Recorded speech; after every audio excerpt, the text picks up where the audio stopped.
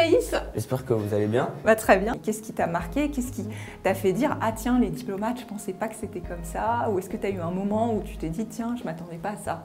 Euh, on avait une présentation, l'une de nos premières présentations, ils nous ont expliqué vraiment ce que c'était qu'un diplomate pour un peu casser les, les stéréotypes. Et que derrière un diplomate, il y a beaucoup d'équipes. Et que euh, par exemple euh, une, une ambassade, ce n'est pas, pas juste un ambassadeur et c'est bon.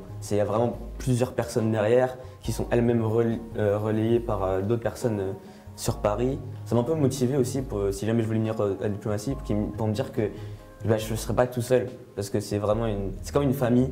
Qu'est-ce qui d'après toi est le moment clé où tu t'es dit c'est bon ma vie elle a basculé? Parce qu'évidemment, quand on est étudiant, on voit tout ce qu'on pourrait faire. En même temps, on ne sait pas vraiment ce qu'on veut faire on se pose euh, 150 questions. Euh, j'ai essayé pour commencer, je me suis dit, bon, je veux être diplomate, euh, la Chine, l'Asie, ça m'intéresse, donc je suis euh, allée faire un stage à l'ambassade de France en Chine. Et ce stage m'a passionnée et je me suis rendu compte que vraiment le, travail en ambassade me plaisait énormément, le contact avec les interlocuteurs, porter les valeurs de la France et les positions de la France, c'est ça que j'avais envie de faire de ma vie. Le message que j'ai, c'est que c'est complètement normal voilà, de, se poser aussi des questions.